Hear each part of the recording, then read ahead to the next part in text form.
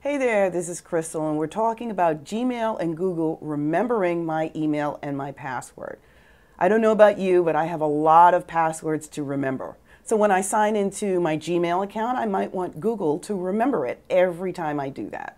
Let's go to the internet and go to my Gmail account. So here I have my email already typed in, and as soon as I put in my password,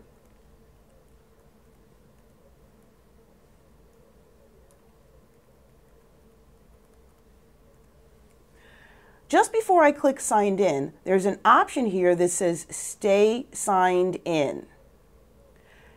Now, if I do click on this, I have to just be assured that it's on a computer that is secure.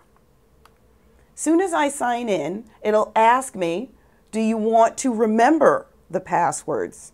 So I'm going to say yes, update and remember my password.